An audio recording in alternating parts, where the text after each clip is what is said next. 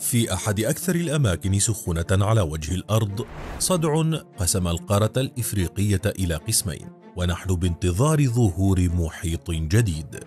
لنكتشف معا كيف سيغير هذا الصدع القاري وجه الكرة الأرضية إلى الأبد.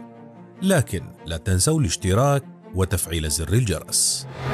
القارة الإفريقية تنقسم بهدوء. على امتداد كبير جاف من منطقة عفار شرق إفريقيا المكان الذي يعد من أكثر مناطق الكرة الأرضية حرارة وسخونة.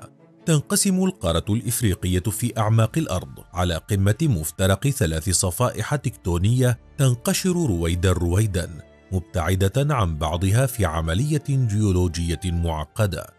يتوقع العلماء الجيولوجيون أن تكون نهايتها انقسام القارة الإفريقية إلى قسمين وانبثاق محيط جديد بينهما في الصدع الذي يبلغ طوله 35 ميلا والذي يرتكز في الصحراء الإثيوبية.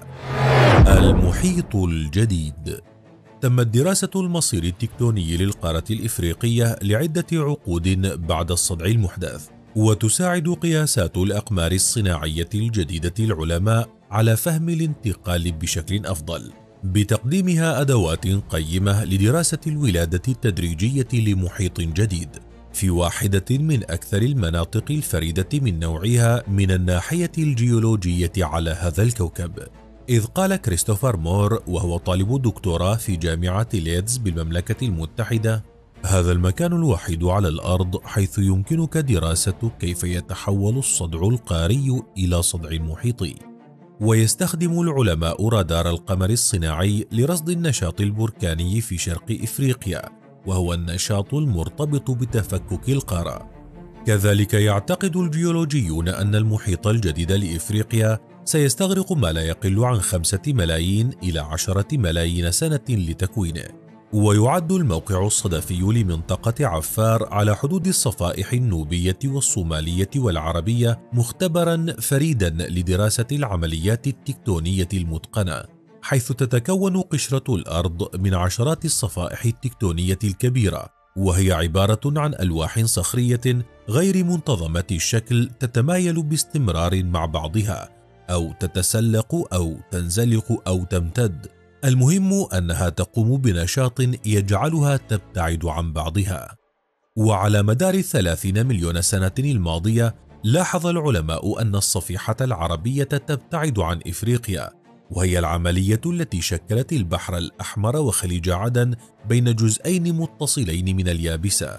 لكن الصفيحة الصومالية في شرق إفريقيا باتت تمتد أيضا مبتعدة عن الصفيحة النوبية وتتقشر على طول الوادي المتصدع شرق إفريقيا والذي يمتد عبر إثيوبيا وكينيا. وقد عجز العلماء عن تحديد السبب الدقيق وراء التصدع الحاصل في القارة إذ يعتقد البعض أن عمودا هائلا من الصخور شديدة السخونة يتصاعد من الوشاح أسفل شرق إفريقيا ويقود الصدع القاري في المنطقة لكن المؤكد لديهم أنه في غضون خمسة ملايين إلى عشرة ملايين سنة ستقسم الحركة التكتونية القارة الإفريقية إلى قسمين منشئة حوض محيط. قد يكون الخلاص فيه للكرة الأرضية من الجفاف والأزمات المناخية التي تعانيها مؤخرا. وبحسب الجيوفيزيائي البحري كين ماكدونالد سيغمر خليج عدن والبحر الأحمر منطقة عفار ووادي ريفت شرق إفريقيا. وسيصبح محيطا جديدا وستكون لهذا الجزء من شرق إفريقيا قارته الصغيرة المنفصلة. المحيطات ثروة الكرة الأرضية. إن 70% من سطح الأرض يغطيها الماء و97% من هذا الماء يتشكل من المحيطات التي تلعب دورا مهما في النظام البيئي لكرتنا الأرضية. فهي موطن لملايين الكائنات الحية من النباتات والحيوانات ذات الأحجام والأشكال والوظائف المتنوعة والتي لكل منها دور كبير في موازنة النظام البيئي. ورغم ملايين الدراسات والأبحاث المستمرة على مدار الساعة فإلى اليوم لا يستطيع العلماء القول أنهم سبروا أغوار المحيطات وعرفوا كل أسرارها. فهي كنز بيئي كبير بكل معنى الكلمة حيث تتحكم التيارات المحيطية في طقس العالم وتحدث تغيرات في الحياة البيئية. ولا نبالغ إذا قلنا أن المحيطات هي سر بقاء البشر على قيد الحياة. وبسبب الاحترار العالمي والصيد الجائر تتهدد أخطار كثيرة المحيطات على وجه الكرة الأرضية. والمحيطات حاليا خمسة وهي المحيط الهادئ والأطلسي والهندي والمحيط المتجمد الجنوبي والمحيط المتجمد الشمالي ومنذ عام 2016 تم تكليف علماء بالبدء برسم خارطة جديدة للكرة الأرضية مع توقع لتمركز محيطها الجديد فهل سيكون هذا المحيط هو المنقذ للأرض من الكوارث البيئية التي تحيط بها؟